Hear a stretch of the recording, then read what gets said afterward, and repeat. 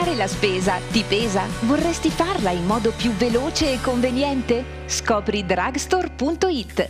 Collegati al sito e scegli tra più di 5.000 prodotti. Entro 48 ore il tuo ordine viene spedito e lo ricevi comodamente a casa tua. Sconti oltre il 50% sui prodotti per l'igiene e la cura dell'infanzia, della persona, della casa e degli animali. E per te 5 euro di sconto con il codice offerta TV. Il programma è offerto da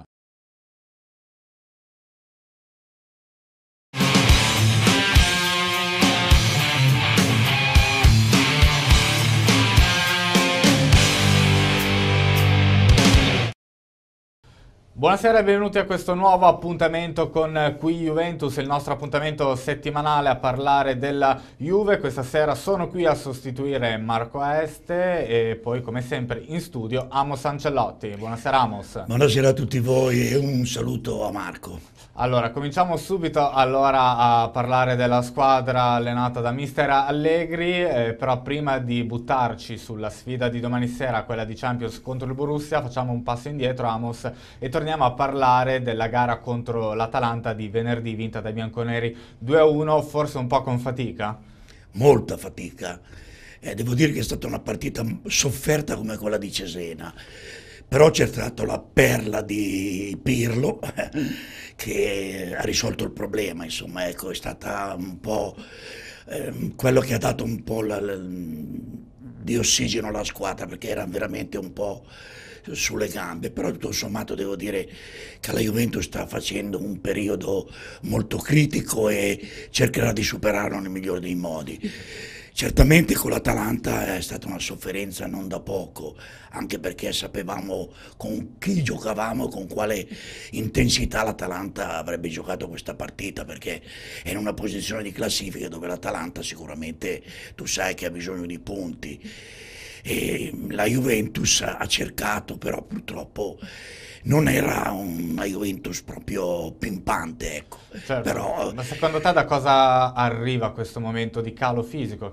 Perché alla fine si tratta di questo da parte della squadra di Allegri, cioè da dove arriva questo calo di tensione?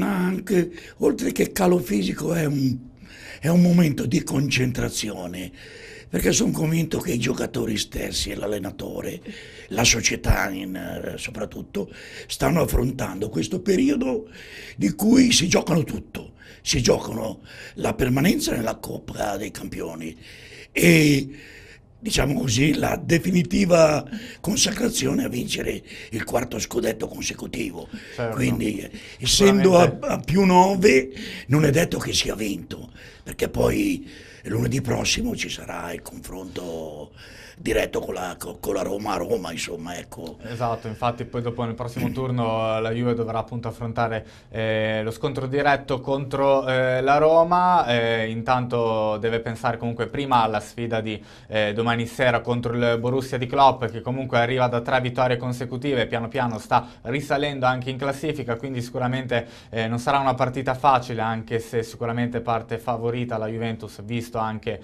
eh, la sfida comunque che giocherà allo stadium, però andiamo a sentire le parole di mister Allegri dopo la sfida e la vittoria contro l'Atalanta e si prepara subito alla grandissima gara di domani.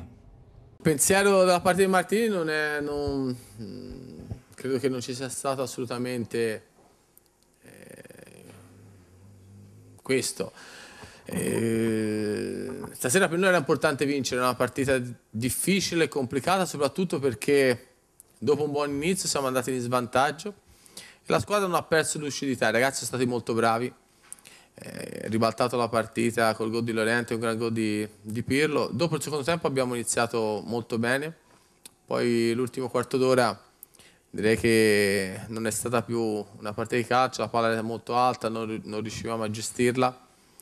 E comunque queste partite, queste vittorie, vittorie, queste vittorie sporche sono importanti alla fine eh, perché ti portano dei punti e perché poi è impensabile eh, che la Juventus possa vincere e debba vincere tutte le partite 3-0 senza subire un tiro in porta eh, e senza mai soffrire.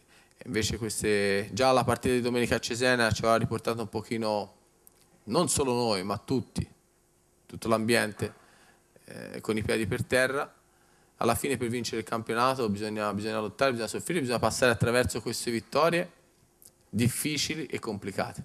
Ma da quando siamo rientrati abbiamo lavorato molto, queste ultime due settimane ancora di più, perché poi dopo da, da questa settimana in poi eh, giochiamo una volta ogni tre giorni e bisognava mettere benzina nelle gambe. Speriamo di aver indovinato. Ma la partita di oggi ha dato tre punti, che è la cosa più importante.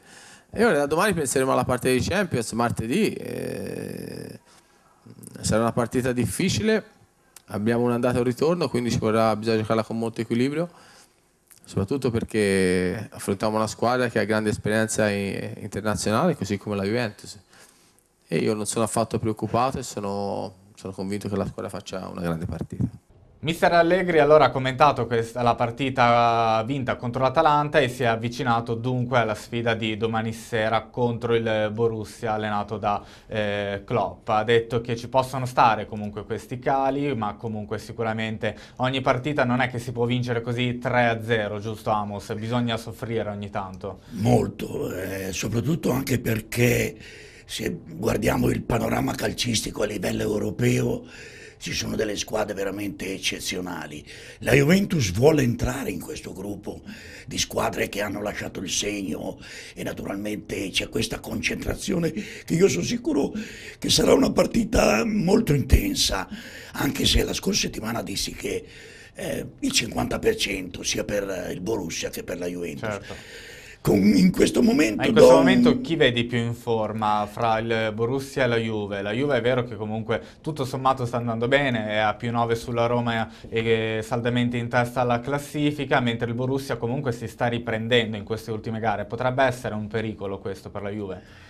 Più che un pericolo è una realtà che il Borussia a livello europeo è una squadra che sa affrontare le situazioni difficili, quindi eh, sono sicuramente due squadre che cercheranno di tutto per non perdere e soprattutto per avere ancora quella grande volontà di restare nelle grandi dell'Europa. Ecco. Quindi io sono fiducioso nella Juventus, non perché sono juventino e sono un super tifoso, ma sono anche sportivamente parlando eh, davanti a una realtà.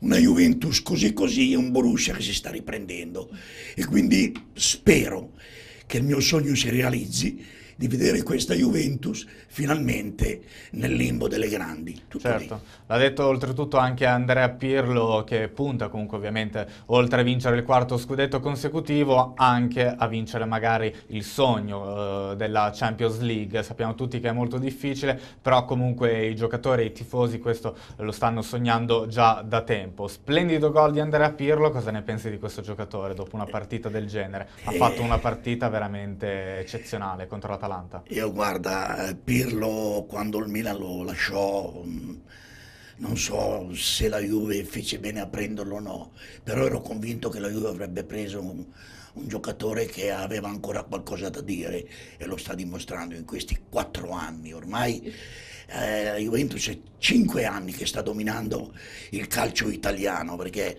devo, dobbiamo fare un passo indietro, partiamo dalla Serie B, poi il primo anno di Serie A, campionato, secondo anno, terzo anno, certo. Beh, entreremo, devo dire che veramente, come ha detto il um, Chellini dice se vinciamo questo scudetto entreremo nella storia del calcio italiano. Certo, la Juventus vuole entrare però anche nella storia europea, allora andiamo a vedere cosa ci racconta nella prossima scheda Simone Togna. La Juventus vuole diventare grande anche in Europa. I bianconeri che martedì sera affronteranno in casa il Borussia Dortmund di Jürgen Klopp vogliono dimostrare al mondo e soprattutto a se stessi di poter essere grandi anche oltre i confini italici. Il mister della vecchia signora ha sottolineato che per farlo i suoi giocatori dovranno disputare due partite gagliarde e sarà di fondamentale importanza, secondo l'allenatore toscano, non subire gol in casa e quindi un eventuale pareggio per 0-0 non sarebbe un risultato negativo. In attacco spazio alla coppia Morata-Tevez con Llorente, pronto a subentrare in caso di necessità. Dall'altra parte i tedeschi che in campionato sono nella parte destra della classifica e che lottano per non retrocedere hanno ottenuto proprio nelle ultime settimane alcuni buoni risultati e il talento Marco Royce è tornato dall'infortunio, più in forma che mai, non si deve poi dimenticare che in Europa quest'anno i gialloneri hanno perso solo una partita e si esaltano dopo aver sentito la musichetta della Champions League. Il fischio d'inizio è previsto ovviamente per le 20.45 lo spagnolo Antonio Matteo Laoz sarà l'arbitro dell'attesissimo match. Allora, in quest'ultima scheda abbiamo visto un racconto come si prepara la Juventus ad affrontare appunto la gara di domani sera contro il Borussia. Come detto prima, la Juve eh, punta a, anche a vincere questa competizione. Secondo te se la può giocare con le grandi d'Europa, Amos? Beh, se passa il turno si fa più convinto la forza della squadra e soprattutto i giocatori prenderebbero quella eh, questa vittoria, questo passaggio del turno come un auspicio a dire che anche noi ci siamo tra le grandi, quindi diamoci da fare, cerchiamo di restare um, nel mondo reale di questa Coppa Campioni che per me è sempre affascinante, anche se, se per conto mio la vera Coppa dei Campioni era quella che la vincevano i campionati. Ecco. Certo. Adesso è diventato questo business della Champions League, va bene lo stesso, ma io mi ricordo sempre la Coppa Campioni, quando le grandi squadre vincevano lo scudetto, il loro campionato, e solo loro potevano certo. partecipare. Ti voglio chiedere una cosa molto brevemente, cosa ne sarà dopo l'addio di Pirlo alla Juventus, perché ormai eh, sappiamo l'età è lì che avanza. Mi hai fatto una domanda che io non sono proprio in grado di rispondere, ma sono convinto che prima di mollare Pirlo ci penserà. Perché non è detto che sia sulle gambe. Pirlo, anche lui quei momenti di flessione, ma quando Pirlo gioca a modo suo, ha ancora molto da dire. Io spero che il fisico lo mantenga ancora integro per poter ancora dire qualcosa nel mondo di questo calcio che lui sa giocare molto bene. Ultimissima domanda, Amos, proprio risposta secca. Chi sarà il match winner eh, di domani sera contro il Borussia? Io vorrei che Tevez realizzi il suo sogno di segnare qualche gol e restare dentro nel grande giro della Coppa Campioni. Quindi dai, Tevez l'uomo partita della sfida di domani sera. Eh, io me lo auguro perché lo merita, per l'impegno che ha dato in questi momenti della Juventus anche in difficoltà. Certo, noi siamo in chiusura anche per questa sera, grazie ad Amos per essere stato con noi, grazie Amos. Grazie a voi tutti e buona serata. Grazie a tutti voi che ci seguite, vi do appuntamento la settimana prossima con qui Juventus. Il programma è stato offerto da